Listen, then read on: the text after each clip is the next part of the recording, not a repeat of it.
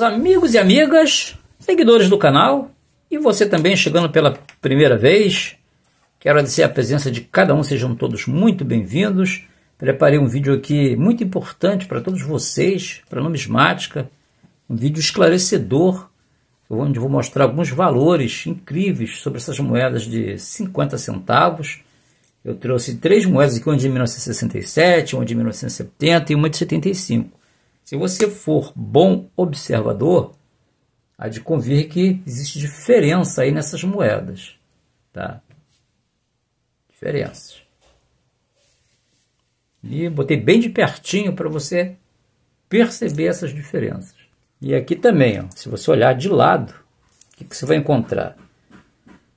Uma moeda bordo liso, duas serrilhadas, só que uma fina e uma grossa certo? Deixa eu botar aqui que eu vou mostrar outros detalhes para vocês.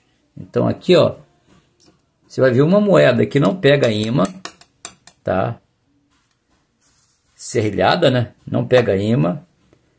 Essa serrilhada aqui, ó, pega imã. E de aço, é claro que pega imã, tá? Então, tem duas moedas serrilhadas, cores bem parecidas que, pega, que, pega, que não, uma que não pega imã e outra que pega imã, é de aço que pega imã. Então eu já mostrei a diferença dessas moedas. Então, na verdade, a de 67 é de níquel, a de 70 era de cupro-níquel e a de 75 aço inoxidável. Isso mesmo. E outro detalhe, em 76, 1975, teve duas moedas diferentes, tá? Uma de aço, bordo liso, e outra cupro-níquel. Mostrar assim na mão mais de pertinho, ó. As duas de 1975. Duvido que você sabia disso. Eu tinha percebido esses detalhes. Tá? Isso tem diferença na tiragem e nos valores. Então, vou deixar aqui duas moedas de 1975. Eu deixei essas moedas aqui, mas na verdade essas moedas foram cunhadas entre 1967 e 1979. Às vezes fazemos vídeos, eu faço vídeos, é, não costumo fazer vídeo de uma só moeda, geralmente a coleção completa. Mas eu costumo, quando não faço isso, eu mostro detalhes importantes. Então, cada vídeo eu mostro um detalhe diferente. Que se eu for pegar tudo num vídeo, e botar tudo sobre a moeda, fica acaba ficando complicado para as pessoas entenderem e os vídeos acabam ficando 20, 30, 40 minutos. Então eu gosto de fazer vídeo no máximo 10 minutos. Então eu vou mostrar nesse vídeo a diferença dessas duas moedas de 75, a mais rara de todas, que é de 67, eu vou mostrar a tiragem, seus valores. E depois já vou ir para o catálogo do Edil Gomes, onde tem coisas incríveis que aconteceram nessas moedas que eleva o valor de muitas delas. E você pode ter em casa, tem amigos que têm essa moeda em casa, uns já venderam, outros não querem vender, guardam. E também fica uma dica, gente. É, nas minhas redes sociais, no WhatsApp, as pessoas às vezes entram no meu telefone e fica ligando ou fica mandando foto de moeda. Pelo amor de Deus, bate uma foto decente assim, ó, aqui, ó, só, só, só faz foto errada quem faz uma foto errada. Já vi que não vê o vídeo. Não abriu, não viu. Aí fica querendo saber de valores, bota 50 moedas esparramadas lá, bate uma foto de a um quilômetro de distância e pede para você. Ninguém, olha, ninguém, ninguém em sã consciência vai avaliar um montão de moeda. Nem tem como você ver moeda. Às vezes, alguém bate uma foto de pertinho, assim, mostra moeda rara, moeda com defeito, é claro que eu vou ter o maior prazer de responder a pessoa. Mas também eu faço triagem também. A pessoa tem que buscar direitos de ser ouvida, direito de resposta. Como? Pelo menos assistindo o vídeo, participando ativamente da plataforma.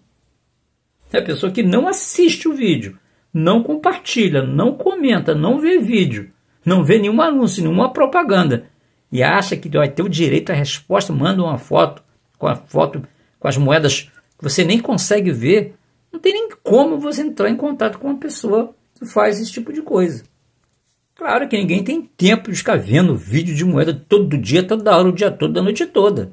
Mas entre uma viagem ou outra de trem, de carro, de não sei o que, ou em casa, bota o vídeo para rodar, para ajudar a gente, para valorizar o nosso trabalho, para ajudar a plataforma a seguir com seus objetivos. A plataforma precisa de pessoas que, que interagem com os outros.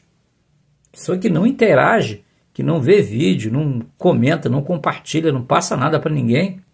A mesma coisa, você vai na loteria, você faz um jogo sem pagar, você vai numa, numa, no supermercado, faz uma compra sem pagar, pelo menos passar o cartão. Aqui é a mesma coisa, você não paga nada, mas pelo menos o pagar aqui é você assistir pelo menos um vídeo. A pessoa vê a capa lá, thumbnail, clica, escreve um montão de coisa, não, não deixa o vídeo rodar, não vê e faz várias perguntas. Quando a pessoa faz uma pergunta que eu sei já de cara que a pessoa não assistiu o vídeo. Porque se vê o vídeo, ó, aqui o que a pessoa vai ver aqui. Ó, quantidade de a moeda de 75, olha lá. Uma com a tiragem de 35 milhões, a outra 98 milhões. Então, a de níquel ela vale mais. 25, outra vale 7, uma vale 35, outra vale 20. A mais rara de todas, em condições normais, a moeda de aço, de níquel, botaram aqui mas é níquel, 13 milhões, 50 reais uma MBC, 70 soberba sem uma flor de cume. Ela teve também reverso horizontal, 100, 150, 200. Tá? Então, a moeda de circulação normal, mais rara de todas aqui, de 13 milhões, a moeda de 1967 tem esse valor aqui. As demais valem um realzinho. Na verdade é essa, as demais valem um realzinho. Tem uma aqui de 79, tem um amigo que tem uma de 78, reverso invertido, vale 120, 280, 500 reais. Agora eu vou mostrar moedas incríveis, que são valiosas, moedas que valem 2 mil reais. Aqui, ela tem uma batida dupla e ela, ao mesmo tempo, ela é uma moeda boné nível 1. Então tem dois erros nessa moeda de 1977. São moedas de disco cortado que vale entre 80 a 250 e pode variar de 260 mil se o erro estiver associado à batida dupla ou disco descentralizado, que é o caso dessa moeda aqui. Não é o caso dessa de 20, ela só tem o corte. Mas essa aqui de 50 centavos, aquela de 77 não chegou a apareceu o corte, é uma batida dupla com boné aqui. Essa aqui de 78 é apenas boné, nível 1. Agora essa aqui, 50 centavos, grandão no disco de um cruzeiro. É uma pseudo-incusa. Com duas moedas de 50 centavos. 78. As duas de 78.